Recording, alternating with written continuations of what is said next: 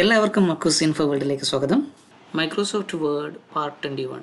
ഇന്ന് നമ്മൾ നോക്കാൻ പോകുന്നത് ഡോക്യുമെന്റ് ഷെയറിങ്ങിനെ കുറിച്ചാണ്.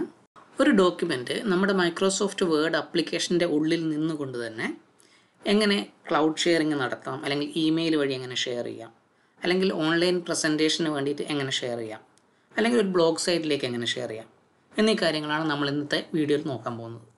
ഒരു ഡോക്യുമെന്റ് ഷെയർ ചെയ്യാൻ വേണ്ടിയിട്ട് ഫയലിൽ ഷെയർ എന്നുള്ള നമ്മൾ ക്ലിക്ക് ചെയ്ത് കഴിഞ്ഞാൽ നമുക്ക് ഷെയർ ചെയ്യാനുള്ള ഡിഫറെന്റ് ഓപ്ഷനുകൾ ഓപ്പൺ ആയിട്ട് വരും. ഇതിൽ ആദ്യത്താണ് ഷെയർ വിത്ത് പീപ്പിൾ ചില ഡോക്യുമെന്റ് ക്ലൗഡിൽ സേവ് ചെയ്യുന്നതും ആ ക്ലൗഡിൽ സേവ് ചെയ്ത ഡോക്യുമെന്റ് ഷെയർ ചെയ്ത് യൂസ് ചെയ്യുന്നതാണ് സേവ് വിത്ത് പീപ്പിൾ അതിനാദ്യം നമ്മൾ ഡോക്യുമെന്റ് എന്ത് ചെയ്യണം? ക്ലൗഡിൽ സേവ് ചെയ്യണം. അതിന് നമ്മൾ സേവ് ഇറ്റ് ക്ലൗഡിന് ക്ലിക്ക് ചെയ്യണം. സേവ് ടു ക്ലൗഡ് നമ്മൾ മുമ്പ് സേവേഴ്സ് ചെയ്തിട്ടുണ്ടായിരുന്നു അതേ സംഭവം തന്നെയാണ് വൺ ഡ്രൈവിൽ നമുക്ക് സേവ് ചെയ്യാം. സൈൻ ഇൻ ചെയ്തതിന് ശേഷം അവിടെ സേവ് ചെയ്യാം. സേവ് ചെയ്ത് കഴിഞ്ഞാൽ സേവ് ചെയ്ത ഡോക്യുമെന്റ് ലിങ്ക് നമുക്ക് ഇമെയിൽ വഴി നമ്മൾ ഇമെയിൽ ക്ലിക്ക് ചെയ്യാം. ഇവിടെ സെൻഡ് എ ലിങ്ക് എന്ന് കാണാൻ പറ്റും. ഇതിൽ ക്ലിക്ക് ചെയ്ത് കഴിഞ്ഞാൽ ആ ഡോക്യുമെന്റിന്റെ ലിങ്ക് നമുക്ക് ആർക്കൊക്കെ സെൻഡ് ചെയ്യണമെന്ന് വെച്ചാൽ അവർക്കൊക്കെ സെൻഡ് ചെയ്യാം. ഈ ആളുകൾക്കൊക്കെ ആ ഒരു ഡോക്യുമെന്റിന്റെ മുകളിൽ ഒരേ സമയത്ത് എഡിറ്റിംഗ് നടത്താൻ പറ്റും.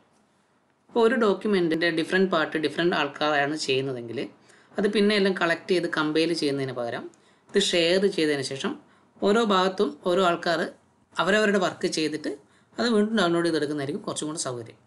അതാണ് നമ്മൾ ഈ ഷെയർ വിത്ത് പീപ്പിളിലൂടെ ചെയ്യുന്നത്. ഒരേ ഡോക്യുമെന്റിന്റെ മുകളിൽ ഒരേ സമയത്ത് ഒരുപാട് പേർക്ക് വർക്ക് ചെയ്യാൻ പറ്റും. അടുത്തതാണ് ഇമെയിൽ നമ്മുടെ document word document word application close ചെയ്യാതെ തന്നെ നമുക്ക് ഒരു അറ്റാച്ച്മെന്റ് ആയിട്ട് സെൻഡ് ചെയ്യാൻ പറ്റും. അതിനുവേണ്ടി നമ്മൾ സെൻഡ് ആസ് അറ്റാച്ച്മെന്റിൽ ക്ലിക്ക് ചെയ്ത് കഴിഞ്ഞാൽ നമ്മുടെ ഔട്ട്ലുക്ക് ഓപ്പൺ ആയിട്ട് വരും. അതിൽ നമുക്ക് ആർക്കാണ് സെൻഡ് ചെയ്യേണ്ടത് അവരുടെ അഡ്രസ്സ് ഇവിടെ ടൈപ്പ് ചെയ്ത് കൊടുത്തു കഴിഞ്ഞാൽ ഈ അഡ്രസ്സിലേക്ക് ഈ ഡോക്യുമെന്റ് സെൻഡ് ആവും നമുക്കിവിടെ എന്തെങ്കിലും കണ്ടന്റ് ടൈപ്പ് ചെയ്യണമെങ്കിൽ അതും ടൈപ്പ് ചെയ്യാം. അതിനുശേഷം നമ്മൾ സെൻഡ് കൊടുത്തു കഴിഞ്ഞാൽ ഈ ഡോക്യുമെന്റ് സെൻഡ് ആവും. പിന്നെ അതേപോലെ നമുക്കിത് പി ഡി എഫ് ആയിട്ട് സെൻഡ് ചെയ്യണമെങ്കിൽ പി ഡി എഫ് ആയിട്ട് സെൻഡ് ചെയ്യാം. എക്സ് പി എസ് ഡോക്യുമെന്റ് ആയിട്ട് സെൻഡ് ചെയ്യണം. എക്സ് പി എസ് ഡോക്യുമെന്റ് ആയിട്ട് സെൻഡ് ചെയ്യാം. Same attachment P D F ആയിട്ട് മാറുന്നേ ഉള്ളൂ. ഇത് കൊടുത്തു കഴിഞ്ഞാൽ നമുക്കിവിടെ കാണാം ഈ അറ്റാച്ച്മെന്റ് പി ഡി എഫ് ആയിട്ട് മാറിയിട്ടുണ്ട്.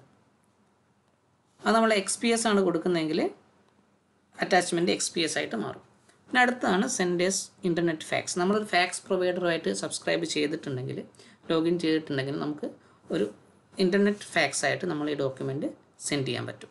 അടുത്തതാണ് പ്രസന്റ് ഓൺലൈൻ നമ്മളൊരു ഓൺലൈൻ പ്രസന്റേഷൻ നടത്തണമെങ്കിൽ നമ്മൾ എന്ത് ചെയ്യുക? ഇവിടെ പ്രസന്റ് ഓൺലൈനിൽ വന്നിട്ട് നമ്മൾ ആദ്യം സൈൻ ഇൻ ചെയ്യണം. നമ്മുടെ മൈക്രോസോഫ്റ്റ് അക്കൗണ്ട് വെച്ചിട്ട് നമ്മൾ ഓഫീസിൽ സൈൻ ഇൻ ചെയ്യണം.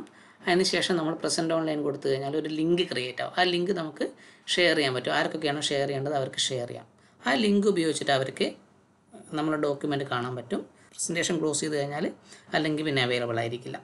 ഇതിനു വേണ്ടി നമുക്ക് ഈ പ്രസന്റ് ഓൺലൈൻ എന്നുള്ള സംഭവം ഉപയോഗിക്കാൻ പറ്റും. അടുത്താണ് പോസ്റ്റ് ടു ബ്ലോഗ് നമ്മുടെ ഡോക്യുമെന്റ് ഒരു ബ്ലോഗിലേക്ക് പോസ്റ്റ് ചെയ്യാനാണെങ്കിൽ നമ്മൾ ഇത് ഉപയോഗിക്കുന്നത്.